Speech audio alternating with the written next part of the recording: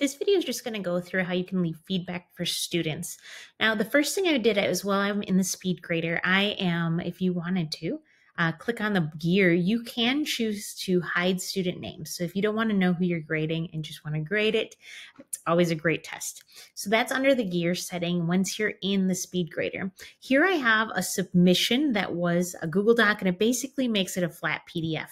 I have different tools for me to be able to um, create little notes. If I just use this tool, I can click on a spot and leave a comment right on their document. Now, one of the important things to note while doing this is it doesn't necessarily tell the student that I left feedback here.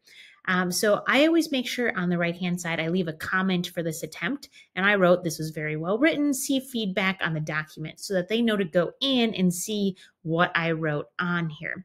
Now, you could also, with different submission types, here's another one where in the settings of the assignment, I had them hand in a URL. And in this case, I hand them had them hand in a Google Doc. And in this case, I can see all of my feedback that I'm giving there, and they're getting notification of that feedback. I can still leave a comment on the right hand side.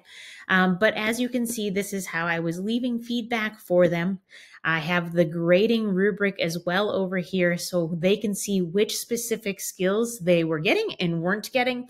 In this case, they didn't even attempt one of the outcomes, one of the standards that we're assessing in historical context in their opening paragraph. So they got no score there. So there was no attempt. So when we're looking at this, this is kind of how the speed grader can give feedback. There are some other tools that you can do here. Also, when you're leaving feedback, I can attach a file if I wanted to do that here. I also, you can now give a video feedback that gives some auto captioning as well. So if I wanted to do that, what will happen is here we are.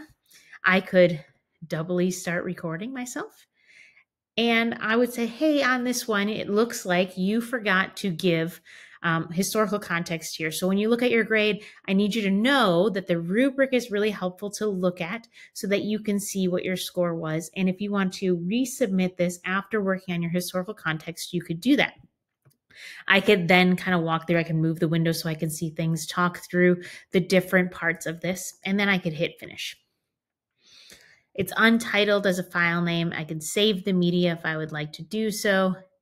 Um, and then they will be able to have this feedback. Um, that is me just talking instead of trying to type up everything and explain it. Another thing to look at too is this is what a student will see in their gradebook. When we leave feedback for them in the comment section, it will say, hey, you have comments on this.